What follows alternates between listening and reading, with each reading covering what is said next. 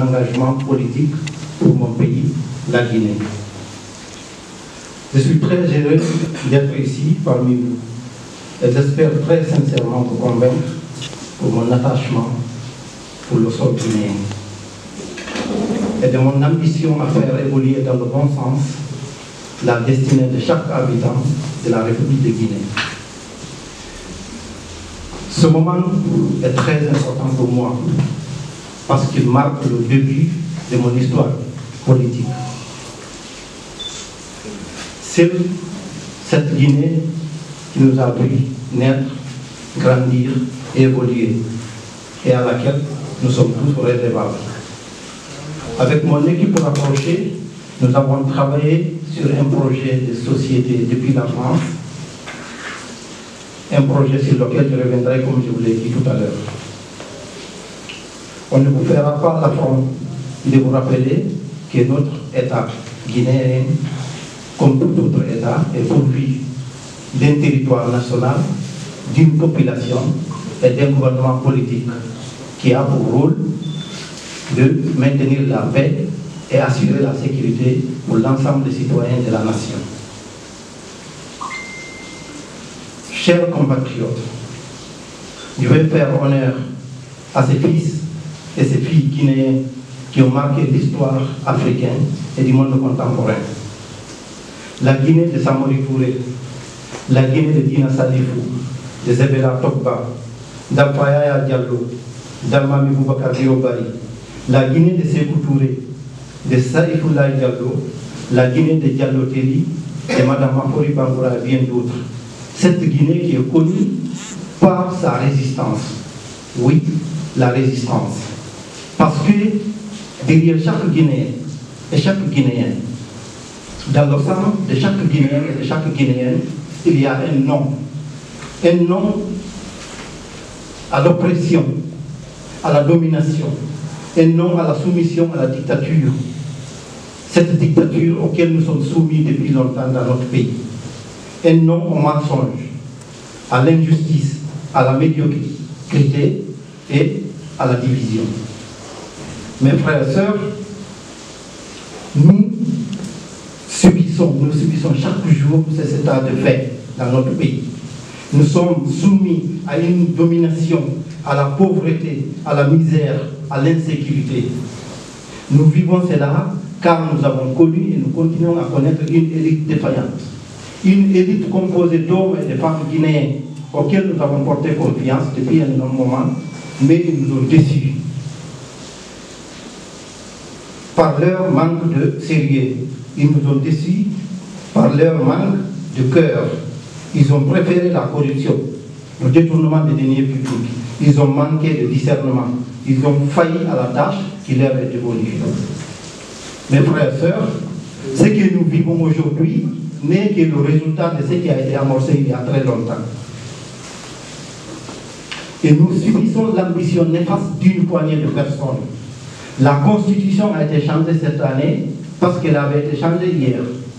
Nous voyons venir un troisième mandat dans notre pays. Mais pour qui? Pour les mêmes personnes, les mêmes hommes, les mêmes femmes, la même médiocrité et surtout aucune plus-value pour la population guinéenne. Le mensonge est devenu une religion dans notre pays parce que ce mensonge a été sémé depuis longtemps. Ceux qui nous pourchassaient hier, ce sont eux qui sont dans nos rangs aujourd'hui. Et ceux qu'on accompagnait hier, ce sont eux qui nous violentent aujourd'hui. Vous qui êtes ici présents, vous êtes d'accord avec moi de dire que nous connaissons beaucoup plus de liberté chez les autres que chez nous? Nous nous émancipons mieux ailleurs que chez nous. Nos droits sont plus respectés chez les autres que chez nous.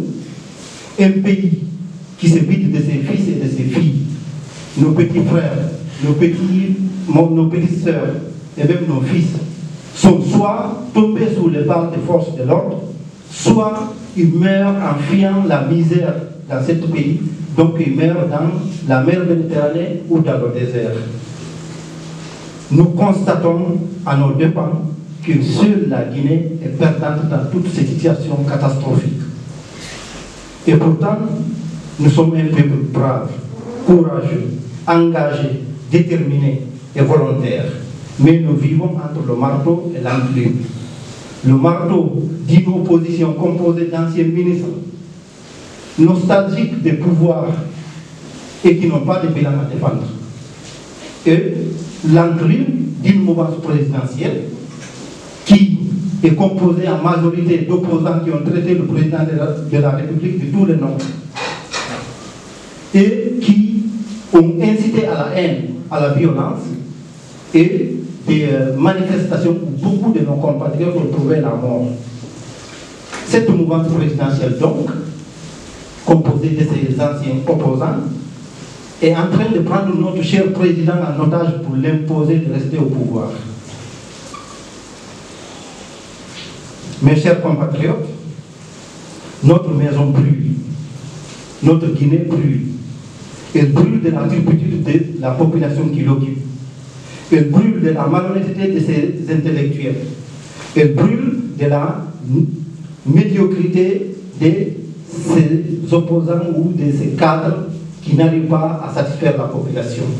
Elle brûle de la naïveté d'une population composée plus de personnes analphabètes, donc très facile à amadouer, une population prête à tout perdre pour des personnes qui n'ont ni de compassion, ni de considération pour lui.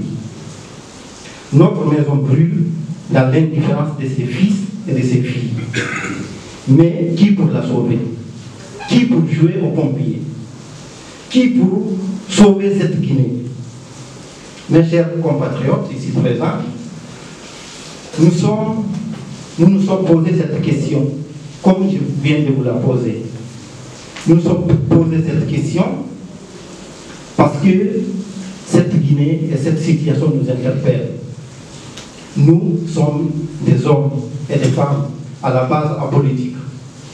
Nous sommes ingénieurs, médecins, juristes, informaticiens et ouvriers. Et nous, sommes, nous nous sommes posé cette question pour finalement créer notre mouvement politique, la Guinée visionnaire. Nous sommes tous des Guinéens et Guinéennes partageant les mêmes valeurs, la même vision et déterminés à chasser la pauvreté de cette Guinée. Nous voulons nous engager pour notre pays. Nous voulons nous engager pour toute la population et chaque individu vivant dans le territoire national. Je vais vous présenter les grandes lignes de notre projet de société et par après, je tirerai une conclusion et vous donner la parole s'il y a des questions que vous allez me poser. Je vous remercie pour le début.